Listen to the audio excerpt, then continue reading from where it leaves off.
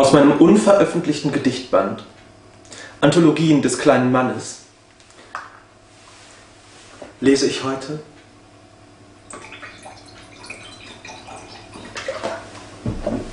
Der Prinz von Mallorca.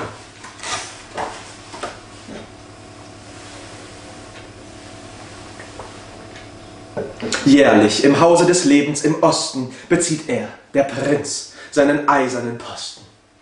Er lädt ein, eine Woche zu ihm zu reisen, wie Gretchen zu spielen und wie Hänsel zu speisen. Weil der Prinz gut improvisieren kann, zieht er Mimen und Barden in seinen Bann. Lehrmeister und Schüler aus allen Landen schon am Meeting Point Palma vor ihm standen. Doch von allen nur die Creme de la Creme pflegt der Prinz im Shuttle mitzunehmen. Er stellt kuschelige Betten ab Ankunftsfrist und verspricht auch, dass vieles versichert ist. Doch wirkt er charmant in illustrer Runde.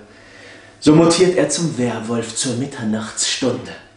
Er lässt das Volk erst am Martini nippen und zwingt später sie zum Sprung von den Klippen.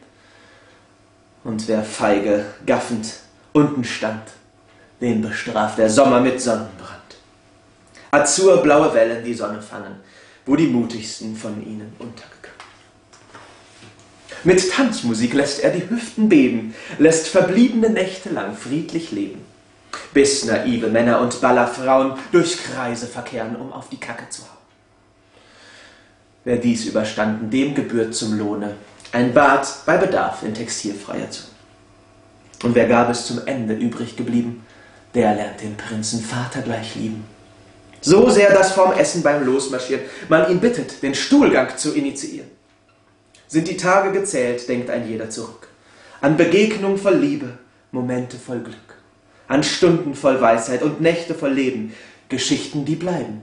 Nichts Schöneres können's geben.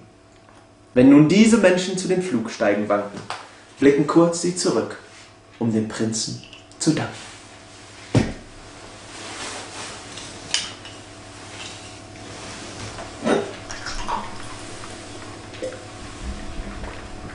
Wir sehen uns auf Mallorca.